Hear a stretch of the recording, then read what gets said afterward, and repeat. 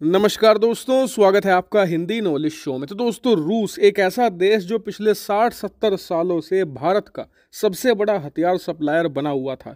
जिसके हथियारों को हमने खूब इस्तेमाल किया और रूस ने मोटी कमाई भी करी, भारत को हथियार बेचकर। हालाँकि ये बात सही है कि हमने रूसी हथियारों का इस्तेमाल करते हुए बहुत सारी जंगें भी जीती, लेकिन इसका नुकसान ये हुआ कि हम रूसी हथियारों पर इतना निर्भर हो गए कि 60 सालों तक तो हमने इस बारे में सोचा भी नहीं कि क्यों ना हम सारे हथियार खुद ही बनाने लगे। लेकिन पिछले कुछ सालों में ये चीज़ें बदली हैं और इसका सबसे बड़ा उदाहरण आपको इस वीडियो में देखने को मिलेगा। और लेकिन मानिए, इस खबर को देखने के बाद आपको बहुत ही ज़्यादा खुशी होगी और आपकी जो छाती है ना, वो गर्व से चौड़ी हो जाएगी। क्योंकि आपको आज दिखेगा कि भारत ने कितना लंबा रास्ता आज तय कर लिया है, हम कहाँ से कहाँ पहुँच गए हैं। लेकिन खबर है क्या? तो दोस्तों, खबर निकलकर सामने ये आई है कि ब्रह्मोस मिसाइल, जिसे दुनिया की सबसे तेज सुपरसोनिक क्रूज मिसाइलों में से एक माना जाता है और इसे भारत का ब्रह्मास्त्र भी कहते हैं क्योंकि बहुत ही ज़्यादा लेथल ये मिसाइल है। और यही कारण है कि इसे खरीदने के लिए भारत के दरवाजे पर कई देशों की लाइन लगी है और कई देशों को हमने इसे बेच दिया है। जैसे कि फिलीपींस को इसकी डिलीवरी शुरू भी कर दी गई है, वियतनाम को अब बेचने जा रहे हैं, इंडोनेशिया के साथ बातचीत हो रही है।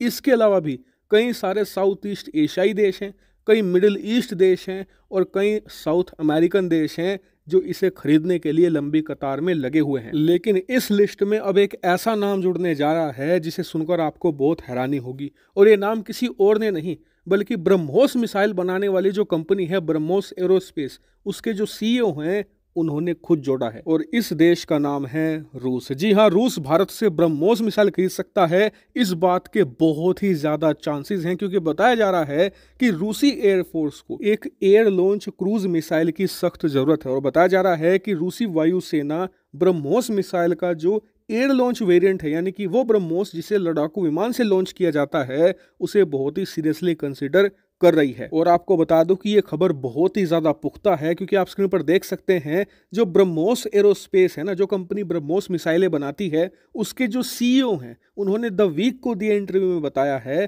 कि ब्रह्मोस मिसाइल को लेकर हम दुनिया के अलग अलग डिफेंस मार्केट को एक्सप्लोर कर रहे हैं और रूस उनमें से एक है, जहाँ पर हम ब्रह्मोस मिसाइल एक्सपोर्ट कर सकते हैं। हालाँकि आगे इन्होंने ये भी बताया कि इस समय जो सिचुएशन है दुनिया भर में रूस को लेकर, खासकर ऐसे में ब्रह्मोस मिसाइल एक्सपोर्ट करना रूस तक, ये थोड़ा मुश्किल काम होगा, थोड़ा ट्रिकी होगा, लेकिन इसे अंजाम दिया जा सकता है। हालाँकि अगर आप इस पूरे मामले पर मेरा ओपिनियन जानना चाहते हैं तो देखिए मेरा मानना यह है कि इस बात के बहुत ही स्ट्रॉन्ग चांस हैं कि रूस ब्रह्मोस मिसाइल खरीद सकता है। क्योंकि अगर आप रूसी वायुसेना का बेड़ा देखो और उसमें मिसाइलों का स्पेशली आप बेड़े पर नज़र डालो तो वहाँ पर आपको एक ब्रह्मोस लेवल की क्रूज मिसाइल की सख्त कमी दिखती है। ऐसे में जो ब्रह्मोस का ए वेरिएंट है, वो रूसी वायुसेना की बहुत सारी ज़रूरतों को पूरा कर सकता है। लेकिन मेरा मानना ये भी है कि रूस को ब्रह्मोस मिसाइल चाहिए और वो लेना भी चाहते हैं, ये बात सही है। लेकिन इस बात के कम चांस हैं कि रूस यूक्रेन युद्ध के दौरान भारत ये क्रूज मिसाइल एक्सपोर्ट करेगा